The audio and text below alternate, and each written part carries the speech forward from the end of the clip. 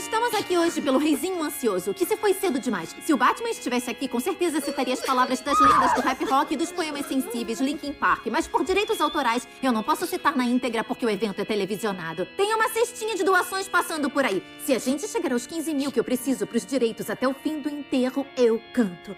Concluindo, obrigada por chorarem com a gente, mesmo que estar tão perto da Bate-Família seja um grande risco de morte. E agora, umas palavrinhas da garota que sempre sabe a coisa certa a falar. Batgirl. Heróis também são normais e às vezes morrem.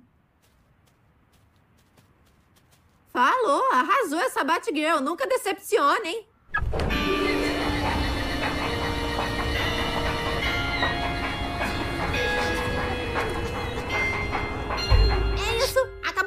Gente não tá nem perto dos 15 mil. Valeu, peguem um lamenzinho, só não pode repetir. Morreu, mas não foi esquecido. Arlequina. Alfinho, que bom que você tá aqui. A galera espera que eu seja forte, só que eu tô surtando, cara.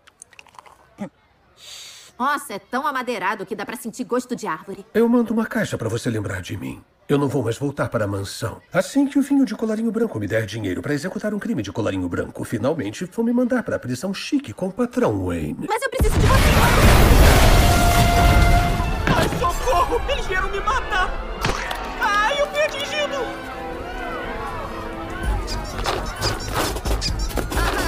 Eu destruí seu food truck patético de sopinha! Você aí, matou o Asa Noturna? Não, é que eu odeio macarrão e...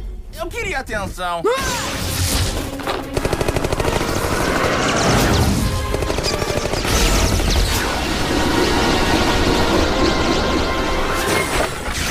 Agora tem vilões de quinta categoria atrás da gente. Se eu for de arrasto pra cima por causa de um otário tipo remendo maluco, vocês vão levar essa informação pro caixão. Vamos nos separar. Mas somos mais fortes juntos. E um alvo bem maior. É verdade. Eu vou pedir pra mamãe me buscar. Eu vou ficar direto com a Alicia.